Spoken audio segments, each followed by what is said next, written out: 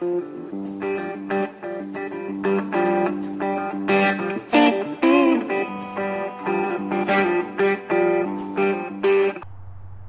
Fireman Rich here. Happy New Year. 2012 is here. Um, what you see before you is one of the Christmas presents I received from the missus. And it's a Harbor Freight 45 watt solar power kit to where I'm going to be playing around with solar power. I call it my little garden of harvesting a little bit of the sunlight. So I'm out here in my garage to assemble this Harbor Freight 45 watt solar panel kit that the missus gave me for uh, Christmas. Something I've been uh, wanting to play around with, solar that is, uh, to uh, see what it's all about, to uh, sort of broaden my uh, knowledge base on the subject, and uh, as a little hobby to uh, tinker around with.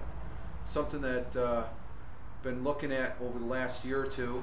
There is quite a few YouTubes, a wealth of information on um, this particular product. So I'm not going to go ahead and go into filming the actual assembly as much as uh, just showing the product and uh, the end result as far as what I'll be hooking up, up to. So uh, be taking a little coffee break here and uh, I will uh, go ahead and uh, start the assembly and hopefully on the flip side here shortly I will have the finished product out in the backyard up and running. Well, here's the final assembly of the Harbor Freight solar uh, panel kit. And the only issue I, I had as far as on the quick assembly, because it didn't take me that long, where there's some secure latches on the back of the uh, solar panels that uh, needed adjustment. And that was identified in previous uh, YouTubes concerning this particular product. Uh, no problem assembling it.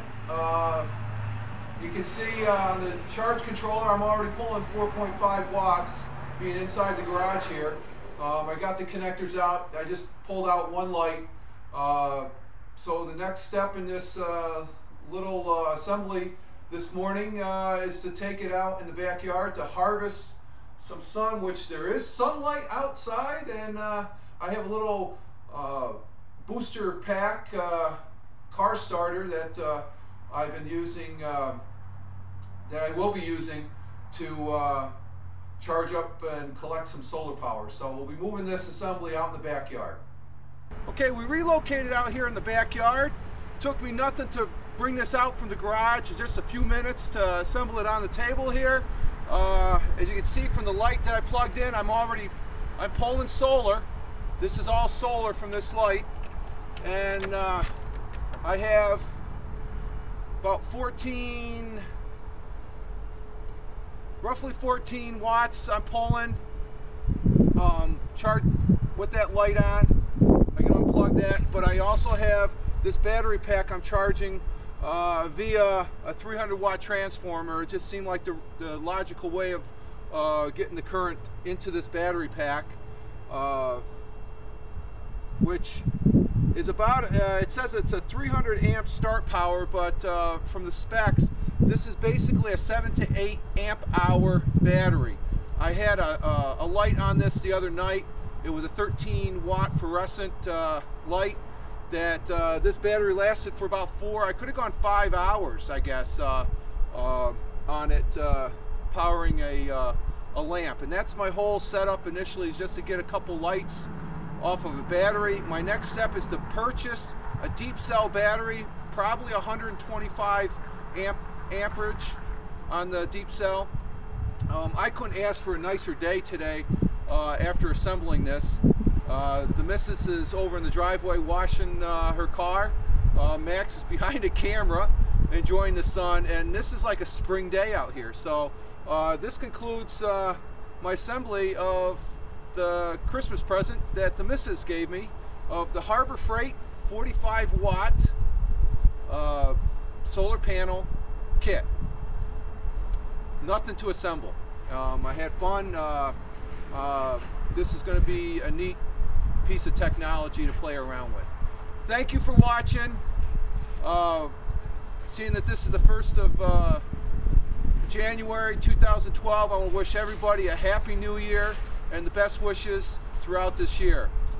Uh, you can follow me on Twitter at Fireman Rich. I'm over there on Google Plus as well. And uh, you all have a good one. Ciao for now. Peace. Glass one beer, please.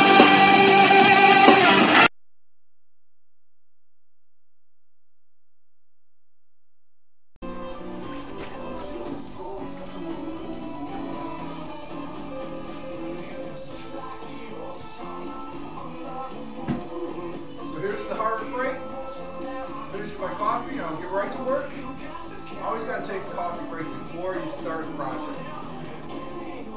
Cheers.